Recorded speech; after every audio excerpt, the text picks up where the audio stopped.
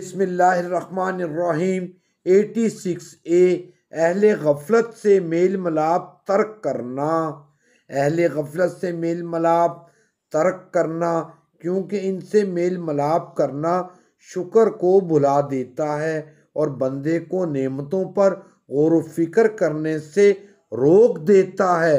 हसन बसी रहमुल्ला से कहा गया, यहाँ एक आदमी है जो लोगों से मेल मिलाप नहीं रखता। तो वो इसके पास आए और इससे इस बारे में पूछा तो इसने कहा, बेशक मैं गुनाह और नेमत के दरमियान सुबह और शाम करता हूँ। मैंने सोचा कि मैं लोगों से दूर रहकर गुनाहों पर अस्तगफार करने और नेमतों पर अल्लाह का शुक्र अदा करने में अपने आप को मशगूल कर लूँ, यानी मसरूफ़ कर लूँ।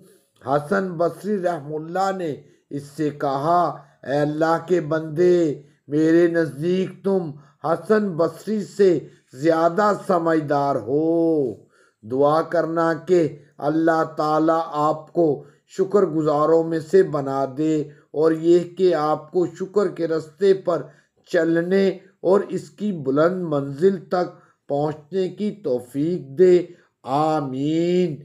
यही वजह है कि हदीस से साबित है कि नबी सल्लल्लाहु अलैहि वसल्लम ने माज रज़ी अल्लाह तहों से फरमाया, अल्लाह की कसम, यकीनन मैं तुमसे मोहब्बत करता हूँ, बस तुम हर नमाज़ के बाद ये कहना ना भूलना। ए अल्लाह अपना ज़िक्र करने, अपना शुक्र करने और बेहतरीन अंदाज में अपनी इबादत करने में मेरी मदद फरमा।